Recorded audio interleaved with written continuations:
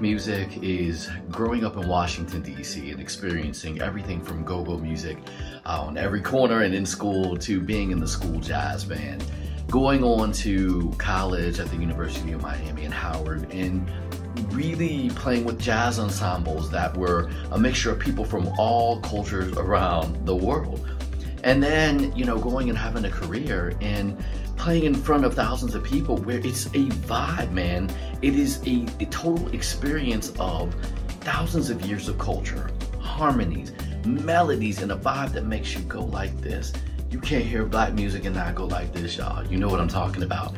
And like I said, whether I'm playing for one person or at a huge jazz festival with tens of thousands of people, it comes through in everything I do. I'm jazz piano player Marcus Johnson. I am black music.